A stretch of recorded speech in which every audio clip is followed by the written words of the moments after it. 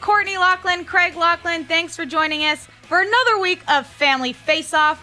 Reporting live from Studio 18 in the Lockers basement. Oops, sorry, I wasn't supposed to say that part. Just Studio 18. I thought it was Locker 18 Studio. You've confused me no, again. you confused me last week when you kept correcting me, saying no, it's Locker 18. It's Okay. Studio Laughlin. Well, the door coming down to the basement now has Studio Oh. 18 on the door. Okay. And that really helps me out because our other 17 studios in the basement, I don't go into anymore. So we're good now.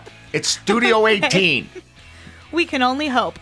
um, Dad, we got a fun show today. We're obviously talking about some more beer.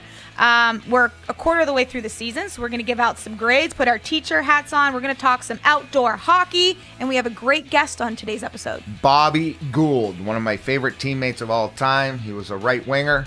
Gartz was first line, I was second line, and unfortunately Bobby was third line. But I'm not going to get into that right now, okay? Well, let's get into the Caps um, and their hockey, Dad, because they finally beat the Penguins. They stopped their four-game skid. game. Awesome game. And because we are a quarter of the way through, let's hand out some grades of what we think through the for the Caps through 14 games. Okay, and you're going to kick us off, Court. You're going to take the offense category and tell me what you're going to grade the Caps so far through 14. I think this one's relatively easy, given that the Caps always have good offensive power, firepower with their lineup. Um, they lead the division with goals for. They have 19 different skaters that have uh, recorded a goal. Nick Backstrom, number 19, leads the team in goals and points. Um, I'm going to give them a B plus, A minus. I mean, it, their offense is always going to be what we expected. I feel like. Wow, I wish I had you as a teacher. Just kidding. I'm with you on that. The offense is never going to go away. Right. It's going to be part of the fabric of the Washington Capitals, Yes. I think, forever from now on, ever since Ovi arrived, but it's going to continue. That's sort of going to be the style of game this town is always going to want their teams to play. I'm going to go defense next, which is a tough one for me because they've allowed the most goals in the division with 52. Uh, they are sporadic in their own zone. They have a tough time to me adjusting to the man on man coverage and what happens when there's a breakdown. Right. Like I, when I played, we'd play some man on man, but when I lost my defenseman, the next guy sort of stood up and took, Took him. over, and, and. I think sometimes you become so robotic, so worried about your guy Mm-hmm. that you don't help the other guys. Like that one goal a couple of weeks back by Potato, who hadn't scored in like three years from the Rangers. That to me just set up the alarm in my mind. If I have an alarm clock here somewhere, I think I do. That, oh my God, they were just worried about who I had and they had, and they weren't really focused on the whole picture. So I'm going to be a tough grader. Joe B says I'm always very tough. Um, I'm going C plus Yikes. for team Okay. defense. I do think it's going to improve with the injuries coming back, Mm-hmm. the full lineup intact. May take them 15 to 20 games to grasp the whole concept, but I think they're getting it, and they're only going to get better. We see glimpses. I feel like we Yes, see some good and some bad. It's a little inconsistent, Exactly. but it's a new system too, and a new coach demanding some new things. Um, I'm gonna go next category: power play. Again, kind of scoring goals. Who doesn't love to score goals? Their power play. They're one of five teams that their power play is over 30%. 11 power play goals. This though is interesting. Seven different players have scored a power play goal on the Caps. Alex Ovechkin only one power play goal. That's a surprising stat to me. It's true. It's true, but he did miss some games. He did, but and his timing may be off a little bit. Um, Right. And I think because of a shortened season, you might even see teams saying, you know what? Why should we allow Ovi to shoot? Let's sort of shade him a little bit Sure. and let everybody else shoot. And maybe that's why they have seven guys with those power play goals. So I'm gonna give it a B plus. It's good. Nice. It's good. Nice. I'm If I- feeling nice today, If Dad. I okay, so if I was in college, gave you an apple, can you have better than a 4.2 average in college? Because that's what I would have had with you as my oh, teacher. a four point two. I don't know that anymore. Maybe I'm off kilter because of my age or whatever, but well over a four in hockey and all my other. You caught me on a good day. what can I there say? you go. Okay, penalty kill. Hmm. That wasn't that hard, I don't think, for me to give that a grade. I think the penalty kill to date uh, is a solid B. I, I- still think that they're a work in progress. Uh, I think Hathaway, Dowd, uh, Eller, Wilson, the forwards are, I think, playing very well. I think sometimes they get beat where they, I know they want to go on the attack, but sometimes they get puck watching, and a couple of goals were in tight on Vanecek on their on the opposition's power play where they maybe left a lane open or didn't have exactly the perfect stick preparation Mm-hmm. and, and details to where the stick should be. So I think that's a work in progress, but solid D, uh, solid B, D. Wow. Wait a sec. I'm talking defense. I get all confused. Wait a sec. Wow, A you caught me D. on a good day. You caught Wow. him on a bad Wow. day. Wow, wow, wow. That's a I misspoke in a big way.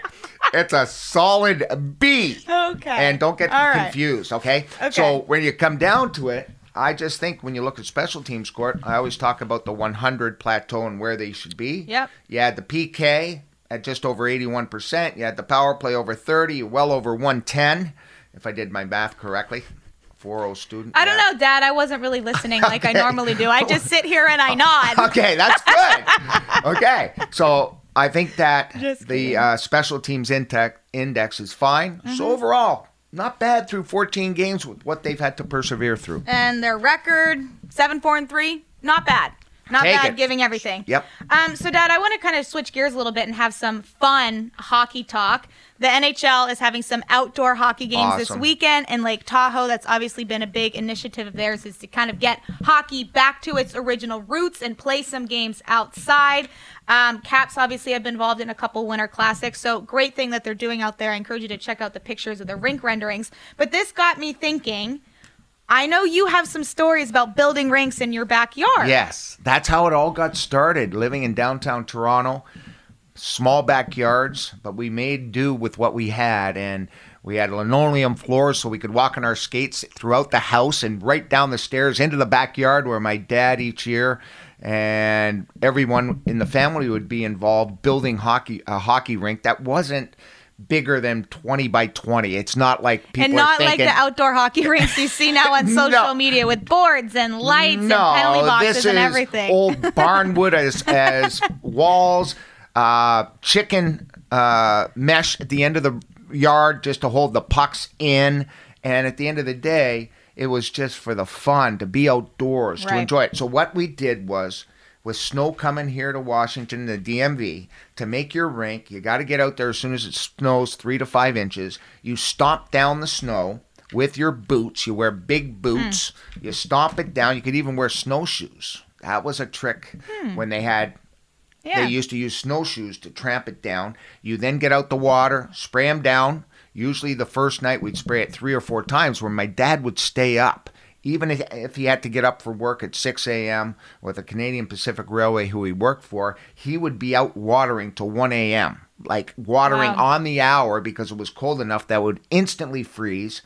So we'd get out there with our boots. It would be all crushed and all hard. You couldn't skate, it wasn't flat. And then you'd mm-hmm. fill in the holes with extra snow, and then you'd skate on it right away so that the burrs of your boot marks and the, whatever you stomped it with would go off because of the blades cutting into it. And sure enough, within three days, it was textbook. When you stepped on it, Courtney, in the morning, beautiful sun out, beautifully cold. It would sort of crack and ripple, but man, the best ice I've ever How many on. hours would you spend out there? Eight Yeah, hours, easy. A typical hours. Saturday morning, and and Saturday I gave you it because it was hockey night in Canada at eight Mm-hmm. o'clock at night, always at Toronto Maple Leafs.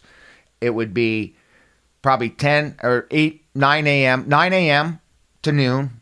Eat lunch, flood the ice, scrape the ice, come back on at two or three, go to dinner, have dinner, come back out after dinner, and play till exactly eight o'clock. When Sounds the no different Leafs, than your schedule now. yeah, it does, doesn't it? Wait a second. That doesn't sound good, or does it?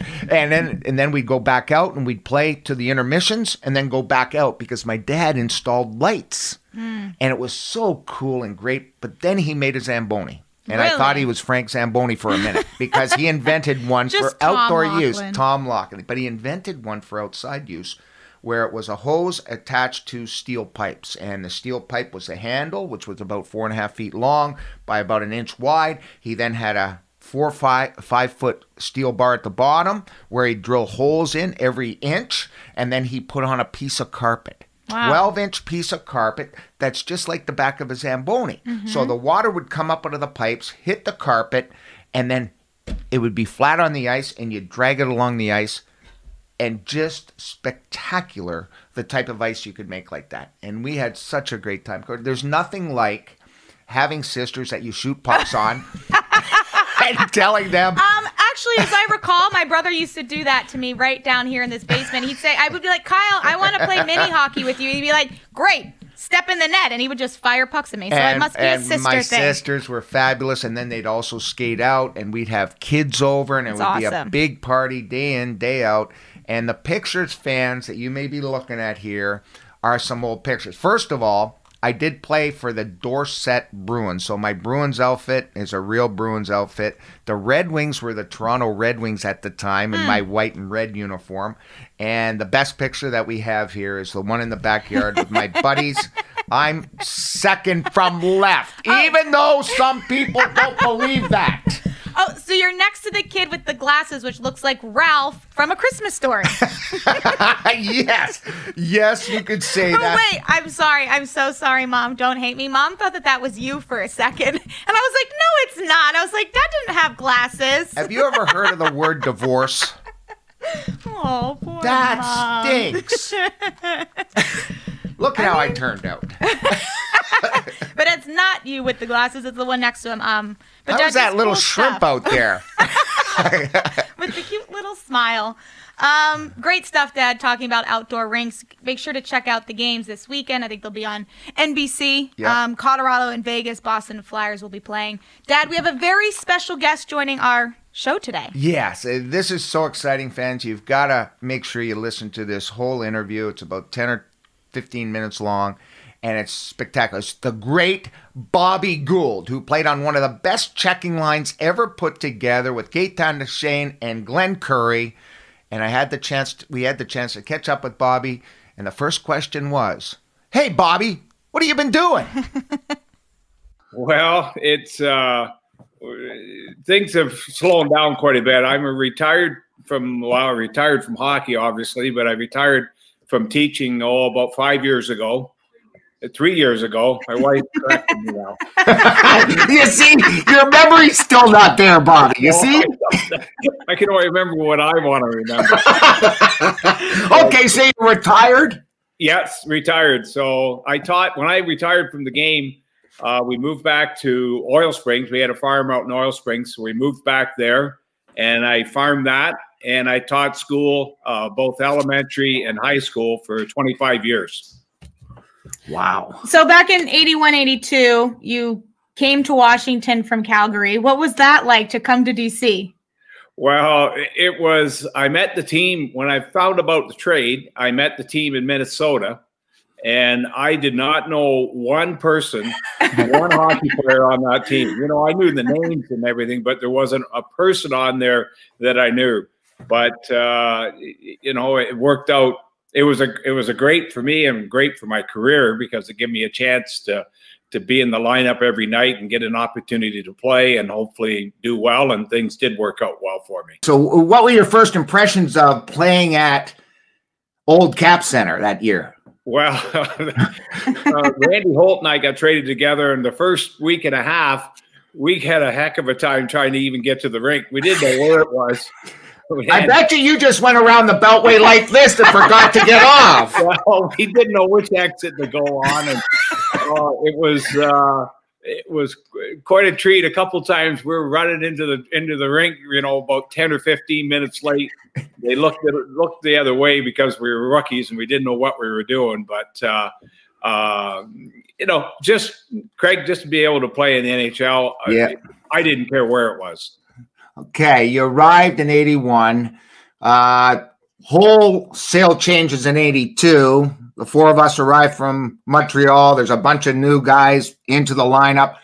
What was your recollection of recollection of 82 83 for you? Well, I remember when the trade happened. Uh, I have said this to a number of people I think that was a turning point for the Caps organization as far as becoming a credible, competitive every year type of hockey team because that, well, that 82 83 year was the first year that they ever made the playoffs. And I just remember when you four guys kind of come into the, we had our training camp in Hershey, and I just remember the four of walking in, and it just all of a sudden it was a different feeling. It was almost and like, it was me with those three other guys. Who the heck were they doing? I, I, don't even remember those names. My memory's gone too, Gouldy. Well, I know that uh, you're probably. I know what you were thinking. Who the hell is this Laughlin? This Laughlin? This Loughlin? This McLaughlin? I knew who Jarvis was. And I knew who Engblom was, and I knew who Langway was, but I didn't know who Laughlin was. But uh, all all four of you obviously contributed, and Rod was. As soon as you walked in, you could just feel that he was kind of running the hockey club, and he, you know, and all of a sudden he's the captain, and you know he hadn't played a one game in the in the Caps jersey, and they named him captain. But uh, you know, that big year. Uh, I thought it, I didn't realize it was such a big deal for us to make the playoffs, mm-hmm. but it certainly was for for the organization.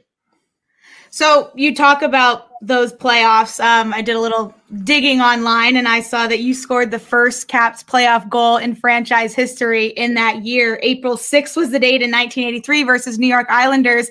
Do you remember that? Can you take us through your memory of, of scoring that goal? No.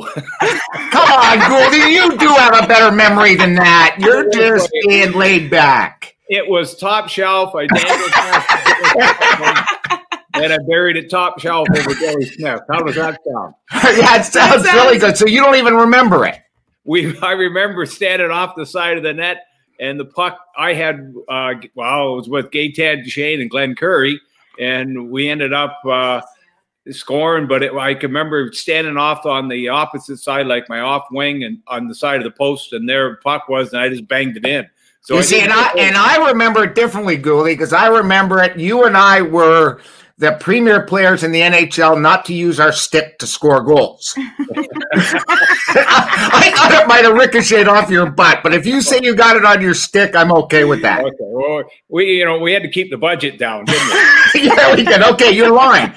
You mentioned your line, Gouldy. To this day, I tell Courtney and I tell all the Caps fans out there every time your line in the '80s comes up that I thought you, Currie, and Duchesne might have been the best so-called energy checking line of the decade.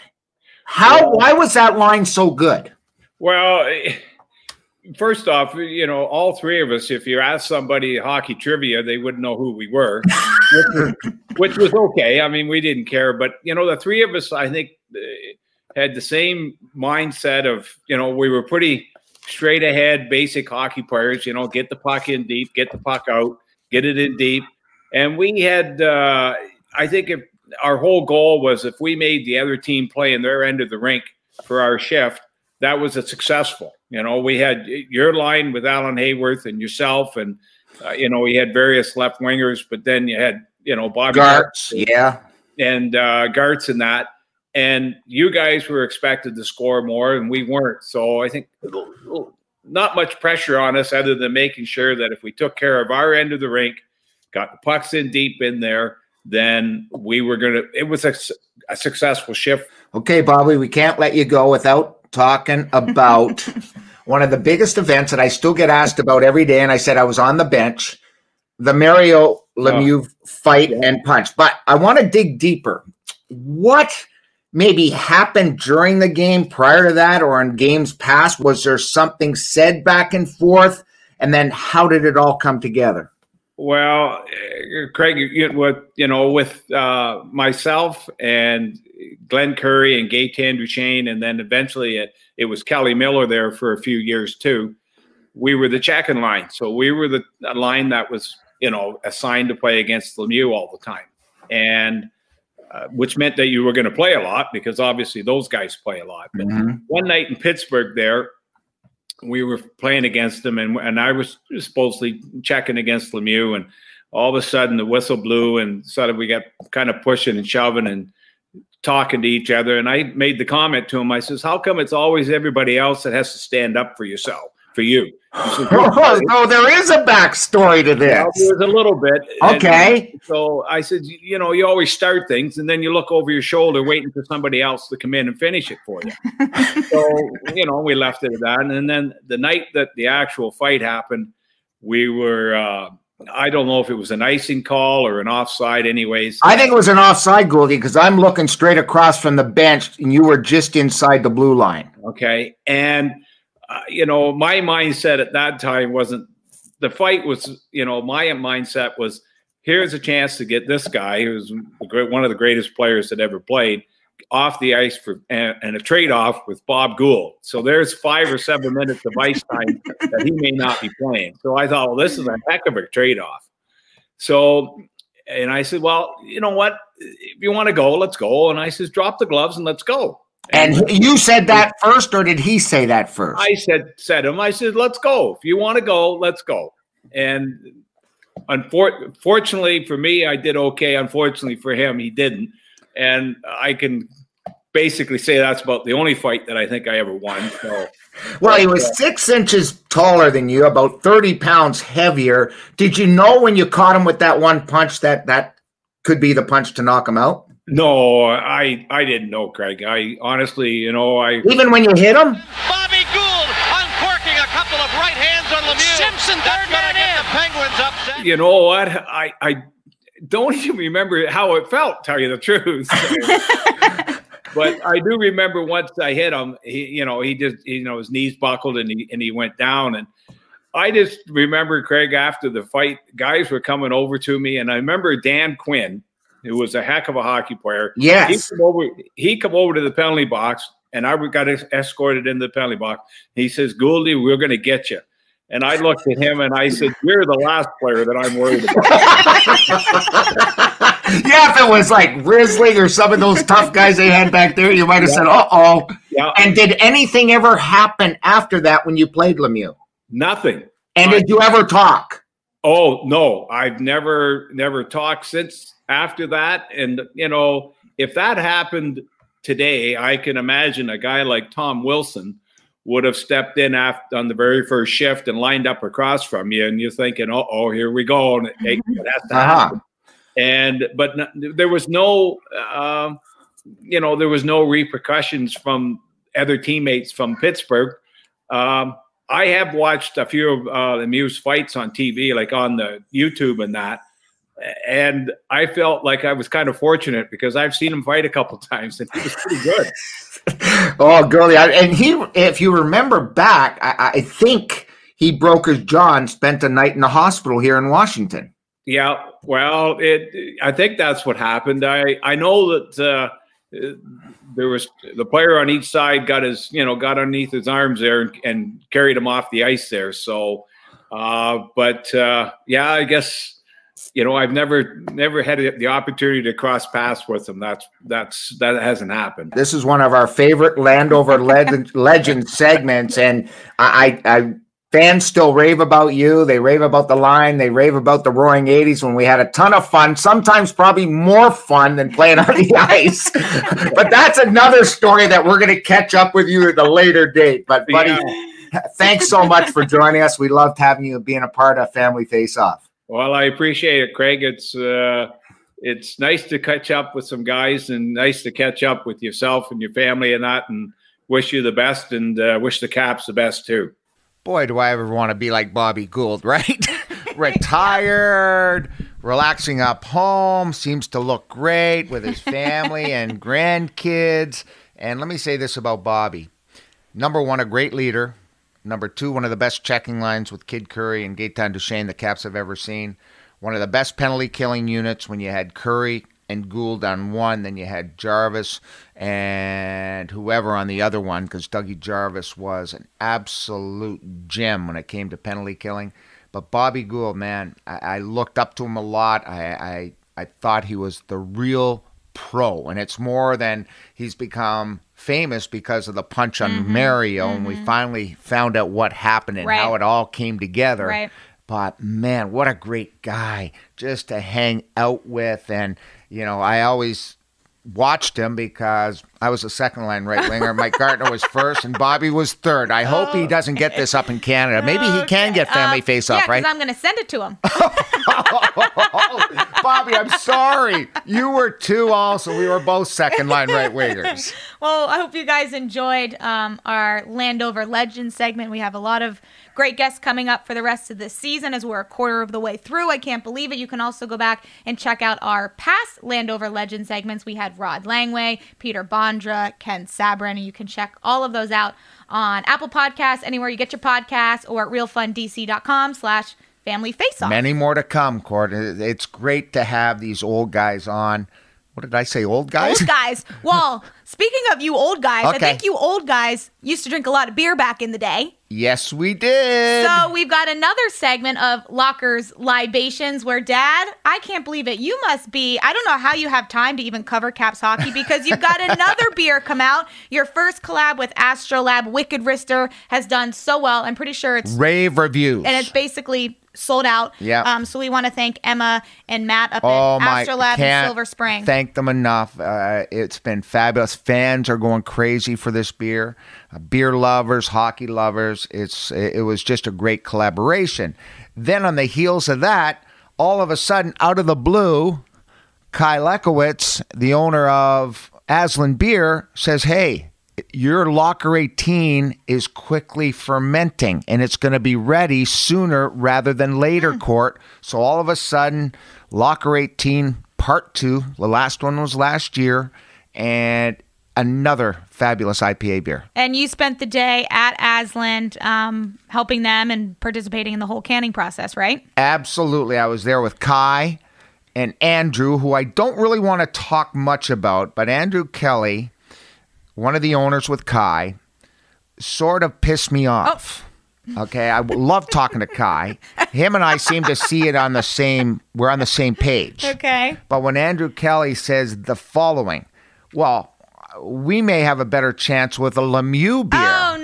Yeah, a Mario Lemieux beer, and all he does is stick it into my side every time I walk by him. So he's a huge Penguins fan. So there's a little. I don't think of- no. Oh. The thing is, I don't think Oh. he is. He's just trying to stick it to me to ah, get me riled up. Okay. okay. Well, it's working. It, it did not? work, but two of the greatest guys, two great brewmasters that do a heck of a job with Aslin.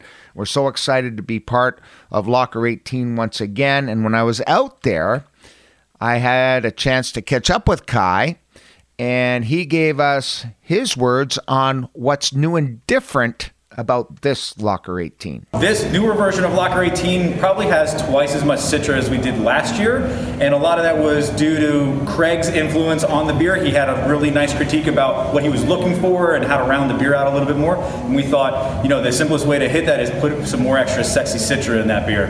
So What- we've got about 2x Citra this time. What does does it still have a nice New England haze to it? Oh, absolutely. That thing is as hazy as you could imagine it, you needed it to be. Now, what generated us to collab? You, you are big into giving back to the community and the DMV, and the Laughlin Family Foundation is so excited to be a part of this beer again. How important is for you guys to do this? I think it's a matter of uh, we align our relationships through friendship. We became good friends with the Laughlin family over the last two years, and when we learned about your foundation, it made the most sense to do what we could do as friends of your family. And this is the easiest route for us because this is our profession. We know what speaks to the consumers, and in doing so, that makes making a donation on, on our behalf to your foundation much easier. Where can people get Locker 18? The best way to get it is to try it on draft here at Aslin Beer Company, either in Alexandria or Herndon, and then to grab a four pack to go. It will be in distribution here in Northern Virginia and in Southern Maryland, around probably Montgomery County there in Maryland, and uh, look for it on draft. Dad, your days are full. like, where do you even fit in calling games? Like, you're at breweries every week. I well, I know, eh, and and it's it's so difficult, Court, because you've got a taste test. oh. You've got it.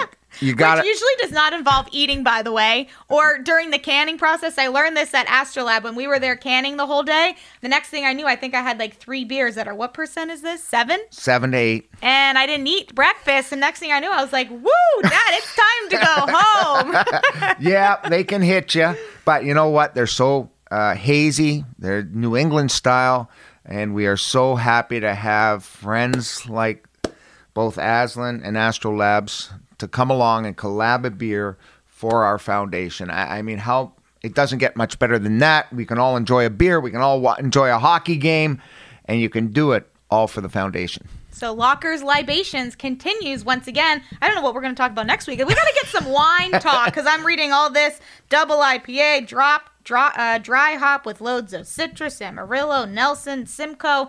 Let's talk some red wine. Hopefully coming up here, Dad. That sounds like a good idea. we can idea. get Joe B on to talk some red wine, do a little wine tasting. We're gonna do some. Yes, we a wine show is upcoming. Okay, you heard it here.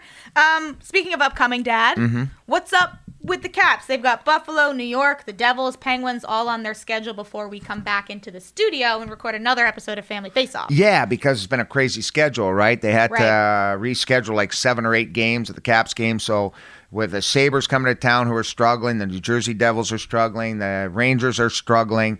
I think those teams in particular, those three that the Caps have upcoming, they could easily sweep those three games. It's going to be, Mm-hmm. they always play them one goal games, but at the end, the Caps got to pick up points against teams that I don't personally think are going to make the playoffs. And the Devils will be the last team for them to see in their division, I believe, right? Have we seen Yes, everybody else? we have not seen right. the Devils. So once they Yep. see the Devils, and look, they're a team that's been hit very hard by COVID, one of the worst hit teams. really bad. Um, they have a grueling schedule 47 games and 83 nights and 10 back to backs. Wow, After that all sounds- their rescheduling. That is just a little less that I've been doing for it.